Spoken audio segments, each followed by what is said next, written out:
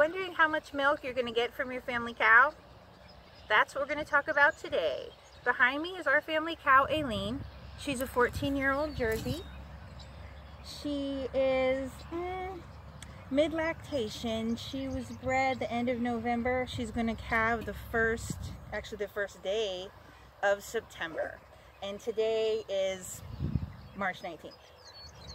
So she's not going to be milking the most she'd give, but she's not going to be milking the least she'd give either. So we're going to see how much she'd milk. This is Kathy from Family Farm Livestock, and we're going to get started milking the cow.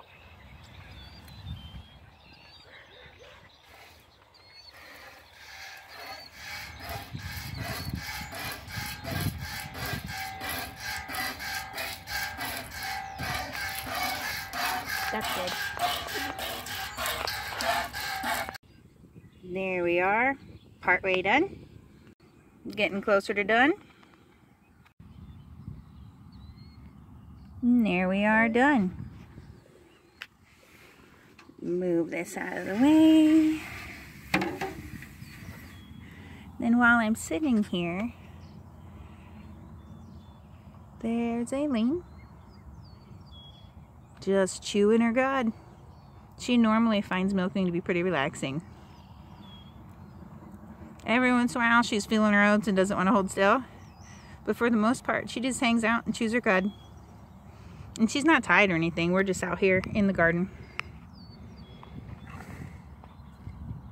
So we'll take the milk in and strain it.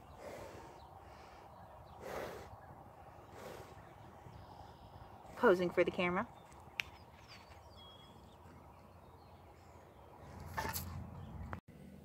As you can see, I've got the glass jars. This is just some cheesecloth and I've got it kind of tucked down in because if you if you pour the milk when it's like this, it'll kind of bounce off and you don't want that.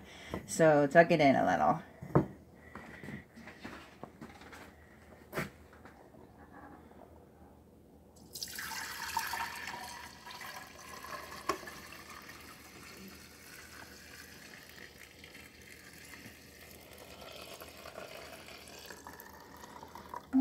Okay, so there's a full gallon.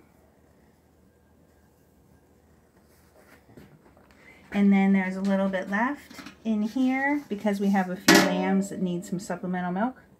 And that. So that's how much Aleene milked for just this morning.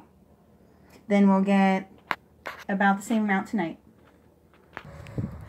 And here's the gallon from this morning. If you look close, there's the cream line.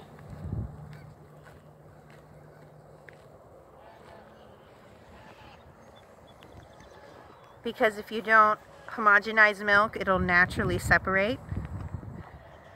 So from your cow, you'll get a nice cream line like this.